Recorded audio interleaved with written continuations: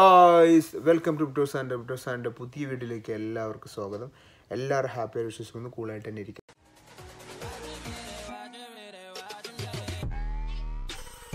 അപ്പോൾ ഇന്ന് ഞാൻ ഇന്ന് നമ്മൾ വീഡിയോ എടുക്കേണ്ടതെന്ന് വിചാരിച്ചതാണ്. കാരണം ഇന്ന് കുറച്ച് തിരക്കും പിന്നെ ഒരു നല്ല മഴയും അങ്ങനത്തെ ഒരു ക്ലൈമറ്റാണ് പിന്നെ ഇന്ന് ക്ലാസ്സും കാര്യങ്ങളൊക്കെ ഉണ്ട്. പക്ഷേ ഈ ഒരു ചെറിയ സമയത്ത് എനിക്ക് ചെറിയ കാര്യം കുറച്ച് ഇൻഫോം ചെയ്യണമെന്നുണ്ട്.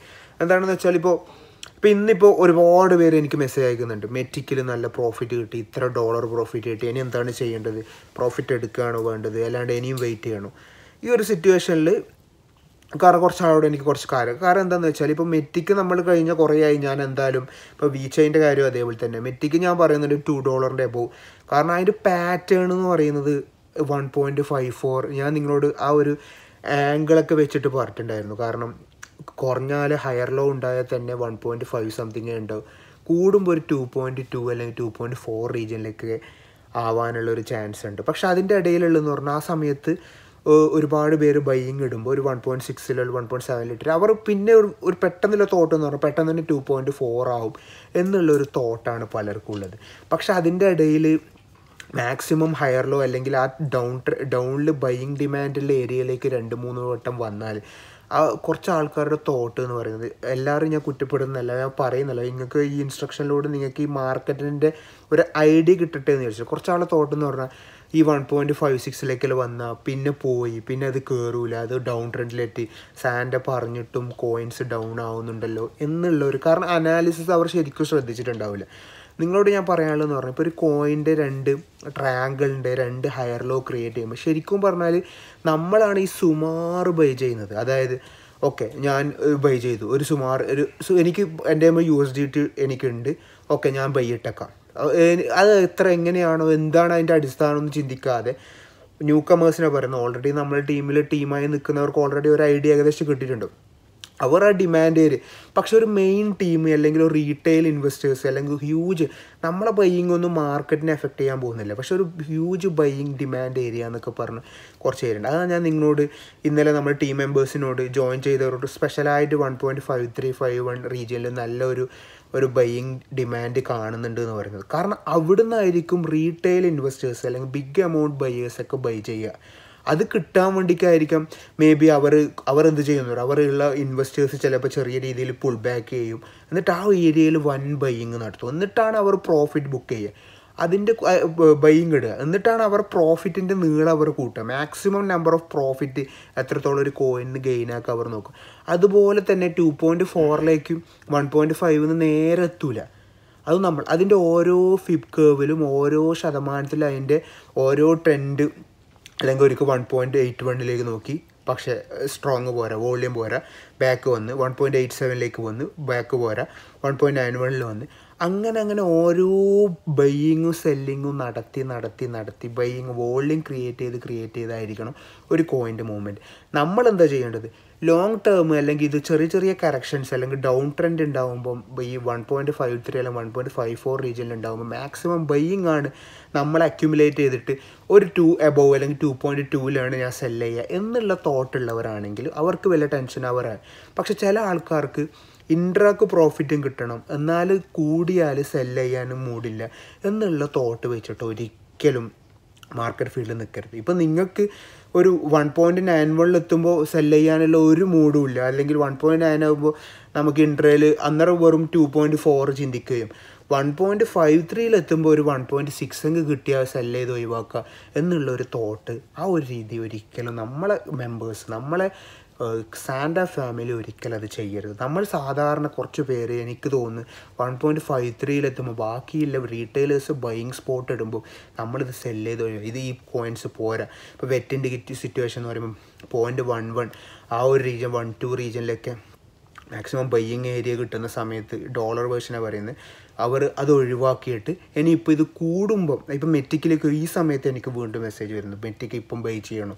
കാരണം ഇത്രയും ദിവസം നമ്മൾ ആ ഒരു പോയിന്റ് ഔട്ടിൽ നമ്മളത് ചെയ്യാതിരുന്നിട്ട് ഈ ഒരു ഹൈക്ക് ഉണ്ടാകുമ്പോൾ ബൈ ചെയ്യട്ടെ എന്ന് പറയുന്നവരോട് അവർ ഈ ഒരു പോയിന്റ് ഔട്ടിൽ നിന്നാൽ ഈ ഒരു കാഴ്ചപ്പാടിൽ നിന്നാൽ ഈ ഒരു വിഷലിൽ നിന്നാൽ കുറച്ച് നഷ്ടങ്ങളെ സംഭവിക്കും. നമ്മളെ സംബന്ധിച്ചിടത്തോളം ഇപ്പോൾ പൊതുവേ ഞാൻ നിങ്ങളോട് പറയാമെന്ന് വെച്ചാൽ നിങ്ങൾക്ക് പ്രോഫിറ്റ് ആണെങ്കിൽ ഏത് കോയിനും ശരിയാണ് ടു പോയിന്റ് ഫോർ ആണെങ്കിൽ ടു പോയിന്റ് ടു ഒക്കെ നമ്മൾ ലക്ഷ്യം വെക്കുകയാണ് നമ്മൾ വൺ ഒരു അമ്പതോ മുപ്പതോ കോയിൻ വാങ്ങില്ല അതിലൊരു പതിനഞ്ചോ അല്ലെങ്കിൽ ഈ പത്ത് കോയിനോ ഒരു ഏരിയയിലെങ്കിലും നമ്മൾ സെൽ ചെയ്ത് സെൽ ചെയ്ത് സെൽ ചെയ്ത് പോയി. ബാക്കിയുള്ള ഒരു ഒരു മിനിമം കോയിൻസ് അത് നമ്മളൊരു ലക്ഷ്യത്തിൽ വേണം സെൽ ചെയ്യാൻ. അത് ഞാൻ ഇത്ര ടു ഡോളർ ബ്രേക്ക് ചെയ്താലോ അല്ലെങ്കിൽ ടു പോയിന്റ് അന്നേരം തന്നെ നിങ്ങൾക്ക് ഒരുപാട് പ്രോഫിറ്റ് കിട്ടും. ഇപ്പോൾ പിന്നെ ടൈമിങ്ങും വളരെ ഇമ്പോർട്ടന്റ് ഉദാഹരണം പറഞ്ഞാൽ സാൻഡിന്റെ വിഷയം നമുക്ക് പറയാം. സാൻഡിന്റെ ഹൈക്ക് നമ്മൾ ടു ഡോളർ വിഷയത്തിൽ വരെ ഞാൻ പറയുന്നുണ്ട് ഇരുപത്തൊമ്പതാം തീയതി അതിന്റെ ഒരു ലോഞ്ചിങ് ഉണ്ട്. പക്ഷേ ലോങ് ടേം സാൻഡിന്റെ പൊട്ടൻഷ്യൽ അല്ല കാരണം ലോങ് ടേം ഭയങ്കര പൊളി തന്നെയാണ്. ഒരുപാട് നമ്മുടെ ഗെയിമിംഗ് പ്രോഫിറ്റ് ഗെയിമിംഗ് സിറ്റുവേഷനിൽ ഒരുപാട് ഗുണമുള്ള കോയിനാണ് പക്ഷെ നമ്മൾക്ക് ഇൻട്ര ആണ് അല്ലെങ്കിൽ നമ്മളൊരു കുറച്ച് നാളൊരു കോയിൻ പ്രോഫിറ്റ് എടുത്ത് കുറച്ച് ഹോൾഡ് ചെയ്ത് ബാക്കി കോയിൻ സെൽ ഔട്ട് ചെയ്ത് വേറിലേക്ക് ഷിഫ്റ്റ് ചെയ്യുന്ന ആ ഒരു രീതിയാണെങ്കിൽ ആ ഇരുപത്തൊമ്പതിന്റെ ഹൈക്കിന്റെ ഇടയിൽ നമ്മൾ പ്രോഫിറ്റ് എടുത്ത് ഒരു പാർട്ട് സെൽ ചെയ്ത് മാറ്റി വെക്കണം. ഓക്കെ കാരണം ആ ഒരു buy the rumour sell the news ആ ഒരു ഈവന്റിലേക്കാണ് ഈ ഒരു സ്ട്രോങ് എല്ലാ ഇൻവെസ്റ്റേഴ്സും ലക്ഷ്യപ്പെടുന്നത് ആ ഒരു ഈവന്റ് സാൻഡിലേക്ക് ഫോക്കസ് വരും. ഓക്കെ ഈ ഒരു സമയകാലങ്ങളിൽ ഒരുപാട് ഇൻവെസ്റ്റേഴ്സിന്റെ ഇടയിലേക്ക് സാൻഡ് എന്ന് പറയുന്ന കോയിന് ഫോക്കസ് വരും. അങ്ങനെ ഉണ്ടാകുമ്പോൾ അതിലേക്ക് ഒരുപാട് ഇൻവെസ്റ്റേഴ്സ് വരും. കാരണം ഇരുപത്തൊമ്പതാം തീയതി ഒരു ഈവന്റ് അത് മിന്നാന്ന് ഒരു ഈവന്റ് ഉണ്ട് എന്ന് അറിയുമ്പോഴത്തേക്ക് ഒരുപാട് ആൾക്കാർ അതിൽ ശ്രദ്ധ കൊടുക്കും. ഒരുപാട് എല്ലാവരും അൾട്ടിമേറ്റ് ലക്ഷ്യം ഞാൻ നിങ്ങളോട് വീണ്ടും പറയാം. എല്ലാവരും അൾട്ടിമേറ്റ് ലക്ഷ്യം പ്രോഫിറ്റാണ് അല്ലെങ്കിൽ ക്യാഷ് ഉണ്ടാക്കലാണ് എല്ലാവരുടെ അൾട്ടിമേറ്റ് ലക്ഷ്യം. അന്നേരം ഒരുപാട് ഇൻവെസ്റ്റേഴ്സ് എന്ത് ചെയ്യും? ആ ഒരു അൾട്ടിമേറ്റ് ലക്ഷ്യത്തിലേക്ക്. ഇപ്പോൾ നിങ്ങൾ പറ ഈ ഒരു സമയത്ത് ഇവൻ ഫോക്കസ്ഡ് ആയി. എന്നിട്ട് ഒരുപാട് പേര് ഈ ഒരു കോയിനിലേക്ക് വരുമ്പോൾ ഇൻവെസ്റ്റേഴ്സ് ചാൻസ് ഉണ്ട്. നമ്മൾ ഇൻവെസ്റ്റ് ചെയ്യും. ആ ഒരു പീരീഡ് ഔട്ടിൽ എന്ത് ചെയ്യും? അവർ ഫുൾ സെല്ലാണ്ട് ഒരു നല്ല എമൗണ്ട് പ്രോഫിറ്റ് എടുത്ത് പോകും. അങ്ങനെയാണ് അതിന്റെ പിന്നെ ആ ഒരു കോയിന് കൺസോൾട്ടേഷൻ പീരീഡ് ആയിരിക്കും. പക്ഷേ എല്ലാവരുടെയും അക്കൗണ്ടിൽ ഒരു ഇത്ര ശതമാനം ആ കോയിൻ ഉണ്ടാവും ചെയ്യും. അത് നമ്മൾ മനസ്സിലാക്കുക. സാൻഡ് അതുകൊണ്ടാണ് ഓരോ കോയിൻസ് പ്രൊജക്റ്റുകൾ കൊണ്ടിരുന്നത്. ഓരോ അപ്ഗ്രേഡ്സ് കൊണ്ടിരുന്നത് എന്തുകൊണ്ടാണ് ആ അപ്ഗ്രേഡ്സ് കിട്ടുമ്പോൾ ഇൻവെസ്റ്റേഴ്സ് വരികയും റീറ്റെയിലേഴ്സ് ഇൻവെസ്റ്റേഴ്സ് വരികയും അവർ അതിൽ നിന്ന് നൂറെണ്ണം ബൈ ചെയ്യുകയും. ആ ഒരു ഈവെന്റിന് ശേ മുമ്പ് ഒരു അറുപെണ്ണം സെല്ല് ചെയ്ത് നാൽപ്പതെണ്ണം ഓരോ ഇൻവെസ്റ്റേഴ്സിന്റെ ഗെയിമിലും ഒരു ഉദാഹരണമാണ്. ഹോൾഡിംഗ് വെച്ച് പോവുകയായിരിക്കും. അന്നേരം എന്ത് ചെയ്യും? ആ സാൻഡ് പോലുള്ള കോയിൻസിന് പിന്നെയും പിന്നെയും ഓരോ ഈവന്റ്സ് കൊണ്ടുവരുമ്പോൾ അതിന്റെ മാർക്കറ്റ് വാല്യൂ കൂട്ടി കൂട്ടി കൊണ്ടുവരാൻ പറ്റും. കാരണം നമ്മൾ ചെയ്യേണ്ടതെന്ന് പറഞ്ഞാൽ ഓരോ സമയത്തും ഏത് കോയിനാണ് ഫോക്കസ് ഉണ്ടാവുക ആ കോ ഇപ്പോൾ ഷിബ് ഷിബാന്റെ കൂട്ട. ശരിക്കും പറഞ്ഞാൽ ലോങ് ടേം വലിയ പ്രതീക്ഷ നൽകുന്ന പോയിന്റ് തന്നെയാണ്. ഓരോ സിറ്റി ഇപ്പോൾ കരാക്കൻ ഇൻട്രൊഡ്യൂസ് ചെയ്തപ്പോൾ ആ ഒരു സിറ്റുവേഷനിൽ ഷിബിലേക്ക് എന്ത് ചെയ്തു? ഫോക്കസ് വന്നു.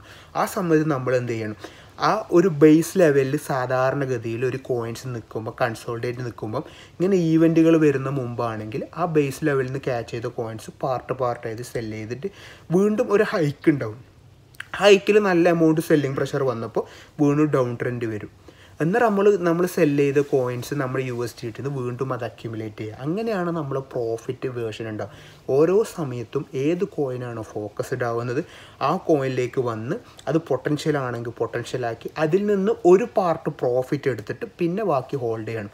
എന്ന് കരുതി സിബ ഫുൾ സെൽ ചെയ്യാന്നല്ല ഇപ്പോൾ അതുകൊണ്ട് എന്ത് പറ്റി പോയിന്റ് ഫൈവ് ഇപ്പോൾ വീണ്ടും ഫോർ സിക്സ് റേഞ്ച് കിട്ടി. ആ ഒരു നല്ലൊരു സപ്പോർട്ടാണ് ഫോർ ഫൈവ് റീജിയൻ അവിടെ നിന്ന് ബ്രേക്ക് ചെയ്ത ഫോർ ടു നല്ല സപ്പോർട്ടാണ് ഡോളറിൽ സീറോ സീറോ സംതിങ് വരുന്നുണ്ട്. ത്രീ നയൻ സപ്പോർട്ട് നമുക്കൊരു ഫോർ ഫൈവ് നിന്ന് വീണ്ടും ബൈ ചെയ്യാം. കാരണം ഇന്നലെ ഫൈവ് ടു എന്നും ഫൈവ് ഫോർ എന്നും ഫൈവ് ത്രീ എന്നൊക്കെ സെൽ ചെയ്തിട്ടുണ്ട്. ഏഹ്? അവിടെ നിന്ന് ഒരു രണ്ട് ലാക്ക് സെൽ ചെയ്തിനെങ്കിൽ ഈ ഫോർ സിക്സ് നിന്ന് നമുക്ക് രണ്ട് ലാക്ക് ബൈ ചെയ്താൽ പോലും നമുക്കൊരു ഇത്ര U S D T profit കിട്ടും. അങ്ങനെ വേണം നമ്മുടെ മൂവ്മെന്റ് നമ്മുടെ ഫോക്കസ്ഡ് ബേസ് ആയിരിക്കണം. ഇപ്പോൾ ലൂണ ഫോക്കസ്ഡ് വരുന്നു. എന്നാൽ ഈ സമയത്ത് നല്ല രീതിയിൽ മുപ്പത്തെട്ടെന്നൊക്കെ വാങ്ങിയവർ അവർ എന്ത് ചെയ്യും? ഒരു പാർട്ട് പ്രോഫിറ്റ് എടുക്കും. എന്നിട്ട് ലൂണ ഫുള്ളായിട്ട് സെൽ ചെയ്യില്ല ഇനി ലൂണയിലേക്ക് ഫോക്കസ് കുറച്ച് കുറച്ച് കുറയുമ്പോൾ അല്ലെങ്കിൽ ലൂണ ഒരു കൺസോൾട്ടേഷൻ പീരീഡിൽ നിൽക്കും. അവെക്സ് നിങ്ങൾ ശ്രദ്ധിച്ച് നോക്കിയാൽ നൂറ്റി നാൽപ്പതിലേക്ക് വന്നപ്പോൾ വീണ്ടും നൂറ്റി പത്തിലേക്ക് വന്നു. ഈ നൂറ്റി പത്ത് വരുമ്പോൾ ആരും ഫോക്കസ്ഡ് ആവുന്നില്ല. അവക്സിനെ ആരും ശ്രദ്ധിക്കുന്നില്ല. ആ സമയത്തായിരിക്കും റീറ്റെയിലേഴ്സ് റീ മെയിൻ ഉള്ള ഒരു മെയിൻ ഒരു ഒരു ട്രേഡറെ സംബന്ധിച്ചിടത്തോളം അവരുടെ ട്രിക്ക് എന്ന് പറഞ്ഞാൽ എല്ലാവരും ഫോക്കസ്ഡ് ആയി ഹൈക്ക് ഉണ്ടാകുമ്പോൾ ഓർ നൈസായിട്ട് ഒഴിഞ്ഞു പോകും. എന്നിട്ട് എന്ത് ചെയ്യും? വീണ്ടും ഫോക്കസ്ഡ് അല്ലാത്ത സമയത്ത് അത് ആ കോയിൻസിനെ കുറിച്ച് പൊട്ടൻഷ്യൽ ഉണ്ടെങ്കിൽ ആ കോയിൻസിൽ പ്രതീക്ഷ ഉണ്ടെങ്കിൽ എന്ത് ചെയ്യും? അവർ ആ സമയത്ത് ബേസായിട്ട് അക്യുമുലേറ്റ് തുടങ്ങും. വീണ്ടും ഒരു ഈവന്റ് വരുമ്പോൾ ഫോക്കസ്ഡ് ആകുമ്പോൾ നല്ല ഹൈക്ക് വരും. ഓർ എന്ത് ചെയ്യും? നൈസായിട്ട് സെല്ലിങ് വരും. ഇപ്പോൾ ഷിബേന്റെ ഫോക്കസ്ഡ് വന്നു. എന്ന് വീണ്ടും ഫോക്കസ്ഡ് കുറയുമ്പോൾ കുറേ നമ്മളെപ്പോലെ ന്യൂബീസ് ഷിബനെ ഒഴിവാക്കും. പക്ഷെ ആ സമയത്ത് അവരെന്ത് ചെയ്യും? ആ ഒരു പാറ്റേണിലേക്ക് പോകും. സാൻഡ് നല്ല ഹൈക്ക് വന്നപ്പോൾ നമ്മൾ ശ്രദ്ധിച്ചു. നമ്മൾ ന്യൂബീസ് ശ്രദ്ധിക്കും. ഓർ ആ സമയത്ത് ബെയിങ് ഇടും. ഇവർ നൈസ് ഒഴിയും. പിന്നെ സാൻഡിനെ ശ്രദ്ധിക്കാതിരിക്കുമ്പോൾ അവർ അക്യുമുലേറ്റ് ചെയ്യും. വീണ്ടും പൊന്തുമ്പോൾ ഇങ്ങനെ ആയിരിക്കണം നമ്മളും ചെയ്യേണ്ടത്. ഫോക്കസ്ഡ് ആകുമ്പോൾ എല്ലാവരും ശ്രദ്ധ കൊടുക്കുന്ന റീജിയൻ നല്ല രീതിയിൽ ഹൈക്ക് വരുന്ന സമയത്ത് എല്ലാവരും ഫോക്കസ്ഡ് ആകുമ്പോൾ നമ്മൾ നൈസിൽ അവിടെ നിന്ന് ഒരു പ്രോഫിറ്റ് എടുത്ത് അനങ്ങാതിരിക്കുക എല്ലാവരും ഫോക്കസ്ഡ് അല്ലാണ്ട് നിൽക്കുമ്പോൾ അക്യുമുലേഷൻ തുടങ്ങുക. വി ചെയിൻ വി ചെയിനിലേക്ക് നമ്മൾ ഇപ്പോൾ വൺ വൺ റീജിയനിലേക്ക് ഫോക്കസ്ഡ് ഇപ്പോൾ അതേ രീതിയിൽ ആ ഒരു അക്യുമുലേറ്റ് പീരീഡിൽ തന്നെ നിൽക്കുന്നത് ട്രെൻഡിങ് വരുന്നില്ല ശ്രദ്ധ വരുന്നില്ല. അന്നേരം നമ്മൾ ഫോക്കസ്ഡ് ആവും. ആ ഒരു ഒരു ഹൈക്ക് വരുമ്പോൾ നമ്മൾ അതിൽ നിന്ന് പ്രോഫിറ്റ് എടുക്കും. ഇത്തീരിയം ഇത്തീരിയം നാലായിരം ഡോളറിന് എത്ര ദിവസം എത്ര ആൾ ആരും കുറിച്ച് സംസാരിക്കാതിരുന്ന ഒരാൾ സംസാരിച്ചിട്ടില്ലല്ലോ. ഇത്തീരിയം ഫോക്കസ്ഡ് എടുക്കുമ്പോൾ അക്യുമുലേറ്റ് ചെയ്തവർക്ക് ഇപ്പം പ്രോഫിറ്റ് എടുക്കും. പിന്നെ ഒരു കാര്യം ഇത്തീര്യത്തിന്റെ റാലി നമ്മുടെ ആൾട്ട് കോയിനെ വളരെയധികം സ്വാധീനിക്കാൻ ചാൻസ് ഉണ്ട്. അതുകൊണ്ട് ഇത്തിന്റെ ഒരു ഹൈക്ക് നമുക്ക് ഒരുപാട് പ്രതീക്ഷ നൽകുന്നുണ്ട്. ഞാൻ നിങ്ങളോട് പറഞ്ഞ പോലെ ഇത്ത് ബി ടി സിയും ഡോജ് യു എസ് ടി ടിയും ആൾട്രോണിൽ നല്ല രീതിയിൽ ഒരു ഹൈ ഇപ്പോൾ ഡോജിനെ കുറിച്ചായാൽ തന്നെ ഇപ്പം സംസാരമില്ല. ഡോജ് അനങ്ങാതിരിക്കുകയാണ് ആ ഒരു യു പാറ്റേൺ നമ്മൾ അനാലിസിസ് വീഡിയോസ് മുമ്പ് ഡോണിൽ കണ്ടാൽ നമുക്ക് മനസ്സിലാവും. ആ ഒരു യു പാറ്റേൺ ശേഷം കുറച്ച് നാൾ കഴിഞ്ഞ് ഇപ്പോൾ ഡോജ് ഹോൾഡേഴ്സിന് വലിയൊരു ഇതുണ്ടാവില്ല. പക്ഷെ ഞാൻ നിങ്ങളോട് പറഞ്ഞ പോലെ എന്റെ അനാലിസിസ് ബേസിൽ ഇത്ത് ബി ടി സിയും dog G Doge U S T ആണ് ആൾട്ടിനെ കുറച്ചധികം ഫോക്കസ്ഡ് ആക്കുന്നത്. അതുകൊണ്ട് നമുക്ക് പ്രതീക്ഷ വെക്കാം. പിന്നെ കുറച്ച് പേര് ഡിസംബർ ആയില്ലേ പഴയ മൂവ്മെന്റ് ഉണ്ടായിട്ടില്ലല്ലോ. പക്ഷെ നിങ്ങൾ ഇത് സെപ്റ്റംബറും ജൂലൈയും നോക്ക് എത്രത്തോളം മൂവ്മെന്റ് ഉണ്ടായത്. ബി ടി സി ഇരട്ടിയായി. ഇത്ത് ഇരട്ടിയായി. ഏത് കോയിനും മെറ്റിക്ക് കൂടി. എല്ലാ കോയിൻസും ലൂണ നോക്ക്. ഏത് ലിങ്ക് നോക്ക്. ലിങ്ക് ഇപ്പോൾ ലിങ്ക് ഇപ്പോൾ ഫോക്കസ്ഡ് അല്ല. ഫോക്കസ്ഡ് അല്ലാണ്ട് ഇപ്പോൾ നമ്മൾ ശ്രദ്ധിക്കില്ല നമ്മൾ മുപ്പത്തെട്ട് ഡോളർ മുപ്പത്താറ് ഡോളർ ഉണ്ടാകുമ്പോൾ നമ്മൾ ഫോക്കസ്ഡ് ആയതാണ്. അതുകൊണ്ട് ഡിസംബർ ആയ വലിയ മാറ്റമില്ല എന്ന് പറയുന്നത് നിങ്ങൾ ഇന്നലെയും മിനിഞ്ഞാന്നും ഒരാഴ്ച മുമ്പും കമ്പയർ ചെയ്യുന്നുണ്ടാണ് ഒരു മാസവും രണ്ട് മാസവും മുമ്പ് കമ്പയർ ചെയ്ത് നോക്കിയാൽ ഈ നവംബറും ഡിസംബറിലും ക്രിപ്റ്റോ മാർക്കറ്റ് എത്രത്തോളം മാറി എന്നുള്ളത് നമുക്ക് മനസ്സിലാവും. അതുകൊണ്ട് ഇന്നലകളിലും മിനിഞ്ഞാന്നുകളിലും അല്ല കമ്പയർ ചെയ്യേണ്ടത്? മന്തുകൾ അല്ലെങ്കിൽ ഇയറുകൾ അത് വെച്ചാണ് നമ്മൾ. ഇപ്പം നമ്മൾ മന്തുകൾ കമ്പയർ ചെയ്യുമ്പോഴാണ് നവംബറും ഡിസംബറിലും ക്രിപ്റ്റോ എത്രത്തോളം എത്തിയെന്ന് നമുക്ക് മനസ്സിലാവും. കാരണം മുപ്പത്തൊമ്പതിലും മുപ്പത്താറിലും നമ്മൾ സംസാരിക്കുന്ന വിഷയമായിരുന്നു നവംബറിൽ ഫോക്കസ്ഡ് ആവണം. നവംബർ ഡിസംബറിലേക്ക് നമുക്ക് വലിയ പ്രതീക്ഷ നൽകും. കമ്പാരിസൺ നടത്തിയാൽ തന്നെ രണ്ടായിരത്തി പതിനേഴിൽ നോക്കിയാൽ തന്നെ ഡിസംബർ മാസത്തിൽ നല്ല രീതിയിൽ പ്രതീക്ഷ നൽകിയിട്ടുണ്ട്.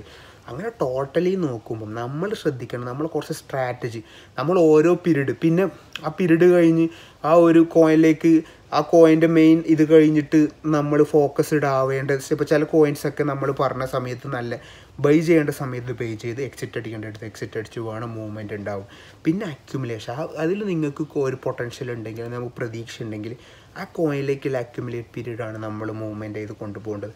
എന്നും കൂടി പറഞ്ഞുകൊണ്ട്. അപ്പോൾ നമ്മൾ ശ്രദ്ധിക്കേണ്ടതെന്ന് പറഞ്ഞാൽ ഇത്ര ചെറിയ ചെറിയ വിഷയങ്ങളിൽ ബാക്കിയുള്ളവരിൽ നിന്നും വെറൈറ്റി ആയിട്ട് നമ്മൾ നിൽക്കുന്നിടത്തായിരിക്കണം നമുക്ക് പ്രോഫിറ്റ് ഉണ്ടാവുക.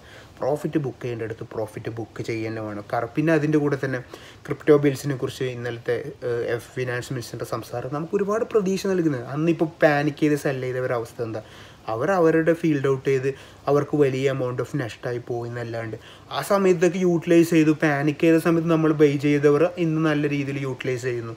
അത്രേ ഉള്ളൂ. ക്രിപ്റ്റോ ഫീൽഡ് എന്ന് പറയുന്നത് മെജോറിറ്റി പാനിക് ആവുന്ന സമയത്ത് ബൈ ചെയ്യുക. മെജോറിറ്റി ഗ്രീഡി ആവുന്ന സമയത്ത് സെല്ല് ചെയ്യുക. എന്നുള്ളൊരു കോൺസെപ്റ്റ് തന്നെ ആയിരിക്കണം നമ്മുടെ മൂവ്മെന്റ് ഉണ്ടാവുക. Okay bye